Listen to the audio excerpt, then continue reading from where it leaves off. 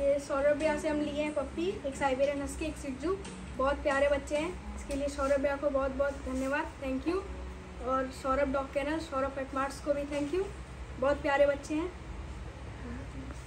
और इन्होंने भी एक रॉड लिया आप भी बता दीजिए। मेरे पास माइक नहीं है भैया। आवाज़ आ जाएगा। थैंक यू सौरभ भैया सौरभ पेट स्मार्ट का। मुझे इतना अच्छा रॉड उधर मिला है इस नंबर प्राइस पे।